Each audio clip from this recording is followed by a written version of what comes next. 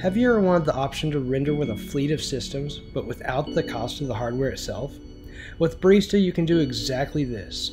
As an independent rendering platform that gives you the ability to construct your own render farm using Amazon AWS, you make the choice of how much power to use and how much your render costs.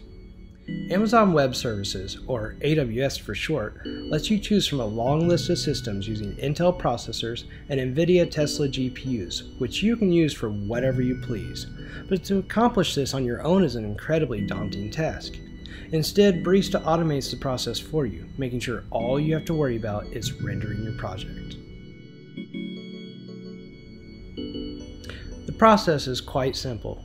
You start by uploading your project to Amazon S3 with Barista. Next, choose the hardware you wish to use for rendering, choosing CPU or GPU, and how many instances of the hardware you wish to use.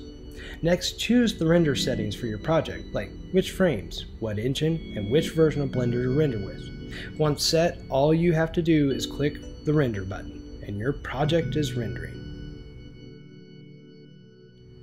During the rendering phase, Barista handles progress reporting, returning the progress of each system to you, while automatically downloading rendered frames so that you can continue working and making updates to your project as your new frames come in. It's just that simple, but you will find that Barista is in constant development as we're always working to make it better than ever, adding more automation and new features to make the render process even more versatile.